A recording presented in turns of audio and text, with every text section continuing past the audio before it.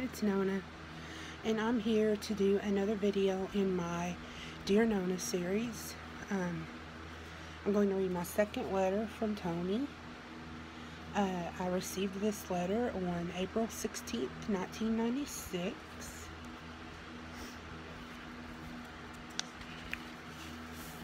So let's see what Mr. Ripley had to say.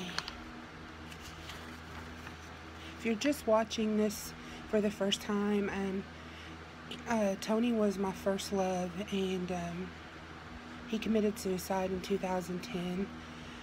And he had been incarcerated quite a bit of his life, and he had written me letters, um, and I kept every letter that he wrote me the entire time we were uh, seeing each other.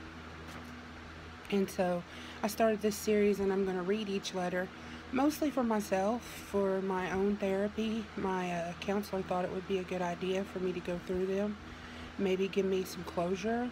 Um, and I thought I would just share them on my channel as my own little video diary. Um, so, anywho, uh, you have to remember he was a 15 year old boy when he wrote this letter, so no tellings what it's gonna say. Okay, so, Nona, what's up? I'm doing better here, and Saturday I'm going on a four hour pass. I'm going to try to come see you. Tell everybody to be there at your house if they want to see me. I'm sorry that I have not been writing you that much. I don't have a lot of free time. Uh, right now I'm in school and I could get in trouble for writing you. So that shows you how much I really care. Well, I guess we can talk Saturday. Or you can call me here during the week or on weekends. Just say you're my sister. P.S. Tell Lawanda and Jonathan to call me also. I would like to speak to them as well. Love always, Anthony Ripley. And it's on this cute little fish stationery. A cute little envelope. And I can remember getting this letter, y'all, as a 17 year old girl. And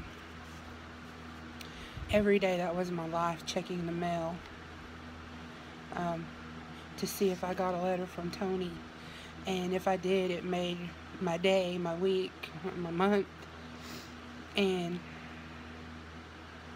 I can still feel the joy when I read the letters now that I had even back then. So that was just another one, another installment, and uh, I'll read another one when I feel up to it. So if you like this types of videos, please like, comment, share, and subscribe. And if you have a channel, I will subscribe back. Thanks for all the support, everybody. Love y'all. Bye.